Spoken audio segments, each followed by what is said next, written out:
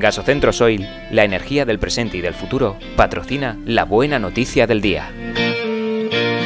¿Qué haría usted si encontrara un bolso con 344 euros en su interior y sin ningún tipo de documentación? Un matrimonio de la Solana lo tuvo claro. Cuando paseaban por la calle Pacheco en pleno sábado, se toparon con un bolso de mano tirado que resultó tener más de 300 euros en billetes y monedas. No había nada más o algo que identificara al poseedor del mismo. Lejos de quedarse con el botín, se dirigieron a las dependencias de la policía local para entregar lo encontrado. Un acto de buena fe de los que no abundan en estos tiempos.